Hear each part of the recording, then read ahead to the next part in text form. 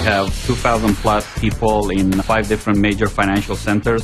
Obviously, because of the distances and latency, we have specific challenges in um, providing them uh, rich client interfaces and capabilities against systems that we host in Canada. And the only possible solution to do this is through application publishing in RDS or through a VDI infrastructure. We do consider VDI to be a, a very solid plate. If the trader perceives any performance degradation, they just stop using it right away. The value proposition coming from Microsoft has improved constantly with the release of 2012. Microsoft is really driving it home on all fronts.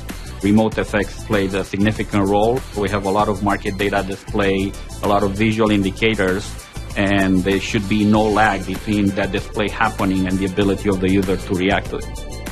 We believe that this latest technology released by Microsoft is coming as close as it possibly be to a, to a full desktop experience.